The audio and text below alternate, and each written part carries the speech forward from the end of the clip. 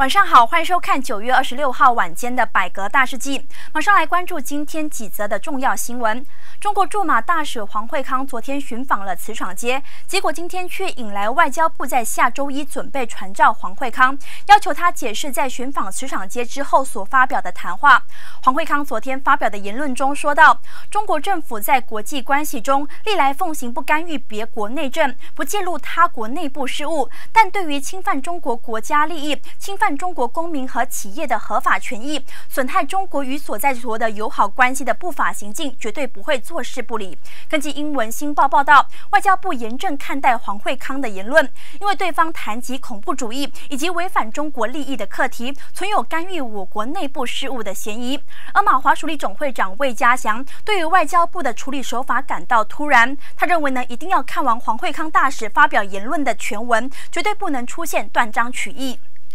职场街因为乌统大港区部主席加码，引发骚乱的一席话，造成警方今天一早劳师动众，派出了大约百名的警察在职场街一带站岗驻守，以防万一。职场街的商贩呢，也因为昨天加码被捕之后，今天恢复了开档做生意的信心，几乎有百分之九十的档口在营业。而一天下来呢，磁场街也风平浪静，游客和人潮络绎不绝。对此，吉隆坡小贩工会主席洪熙娣说：“各族之间本来是和。”且相处，因此呢，要严厉惩处那百分之一的滋事者。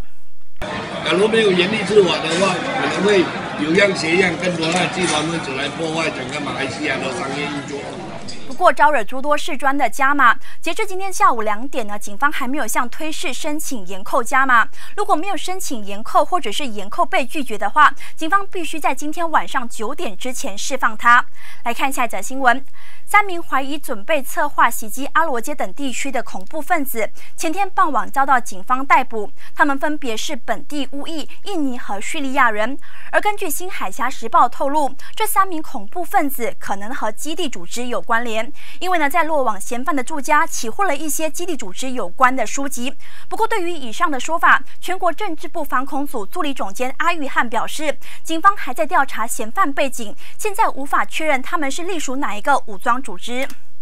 来看下一则新闻，在柔佛永平发生一起宰杀牛只所导致的夺命意外。四十八岁的男子舒哈多在参与哈芝节宰牲活动的时候呢，因为遭割颈而奄奄一息的牛只突然发狂起身，同时撞飞宗教司手中的八冷刀，导致舒哈多被飞来的刀呢砍中了左手，在送往医院抢救之后，仍然失血过多呢毙命。来看最后的是国际新闻。上个月在泰国曼谷知名旅游胜地四面佛制造爆炸案的黄衣嫌犯，泰国警方今天透露，爆炸案发生之后，第一个被逮捕的男子卡拉达证实就是炸弹客。卡拉达也向泰国警方承认自己就是黄衣人。不过早前泰国警方否认卡拉达是炸弹客，如今又改口了，令外界哗然。因此泰国警方坦诚，目前还需要呢收集更多的证据，以证明卡拉达就是放炸弹的凶。徒，那今天的大事记呢到此结束，谢谢你的收看。